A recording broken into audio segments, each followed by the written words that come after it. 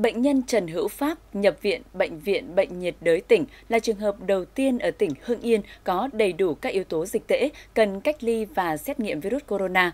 Đến nay, bệnh nhân Pháp đã được xác định âm tính với virus corona, sức khỏe ổn định và được ra viện hôm mùng 10 tháng 2. Bệnh nhân Trần Hữu Pháp được cách ly tại Bệnh viện Bệnh nhiệt đới tỉnh Hưng Yên ngày 4 tháng 2 với biểu hiện ho sốt, đau rát họng. Trước đó bệnh nhân đã lưu trú 15 ngày tại hai tỉnh Quảng Đông và Quảng Châu, Trung Quốc. Kiểm soát được nhiệt độ cho bệnh nhân, biểu hiện của cái nhiễm trùng 3 tiếng từ kiểm tra một lần trong ngày đầu tiên. Và những ngày sau là 3 lần trên ngày. Là tối có diễn biến thì chúng tôi sẵn sàng đo. Và đặc biệt là chụp x-quang tim phổi chúng tôi kiểm tra ngày 2 lần.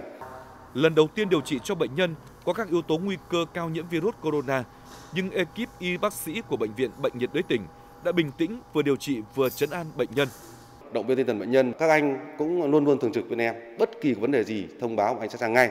Anh ăn gì thì em ăn đó. Và bệnh nhân nói là ờ, cảm ơn các anh chị rất là nhiều. Nhưng mà em thấy sự quan tâm nhiều quá, em cảm thấy cũng hơi lo. Sau 5 ngày cách ly tại bệnh viện, bệnh nhân Pháp được xác định âm tính với virus corona. Sức khỏe đã ổn định và được xuất viện hôm mùng 10 tháng 2 tại thôn Đoàn Thượng xã Bảo Khê, thành phố Hương Yên, nơi tạm trú của anh Pháp, cả gia đình đang rất vui mừng khi anh Pháp không nhiễm virus corona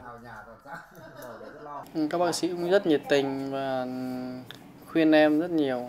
Lúc ý thì em ờ, suy nghĩ là nếu mà ở đấy thì tốt cho mình, không ảnh hưởng người khác nên lúc ý cũng đỡ hoang mang. Tin anh Pháp không bị nhiễm virus corona còn là niềm vui của bà con trong thôn. Ờ, cháu nó đi viện về mà nó bác sĩ kiểm tra mà nó uh, âm tính là mình thấy là phấn khởi mừng.